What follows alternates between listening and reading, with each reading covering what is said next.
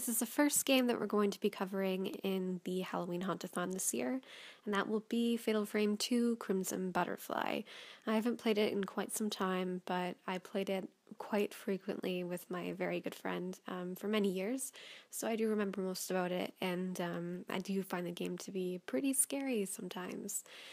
So, the developer is Tecmo, and it was originally released in 2003 on the PlayStation 2 and it was later released on the Xbox in 2004 and was made available on the PlayStation Network on May 7th, 2013. It is a survival horror game and a single player game.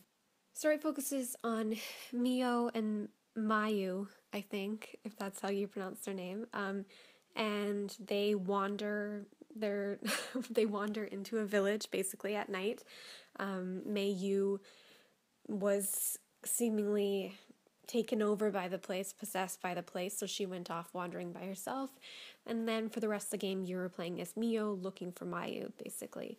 Um, because it's a creepy Japanese village, obviously it's haunted. And so, what Mio does is she finds a camera obscura.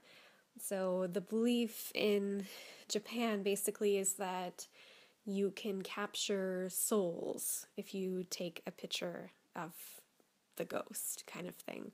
I don't know if that's their actual belief, but in this game, that seems to be the belief. So you take pictures of the ghost, and sometimes that can be very difficult because it has to line up correctly. Um, and the better it lines up, the more clear the shot that you can get of the ghost, the better your score is, and the better the damage that you will do to them as well, depending on your shot.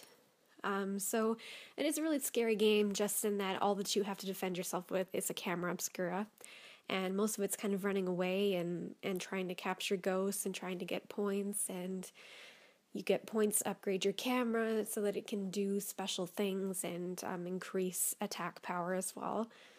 So that's kind of the gist of it. There's a lot of ghosts. There's a lot of kind of cult activity and, and like sacrificial stuff.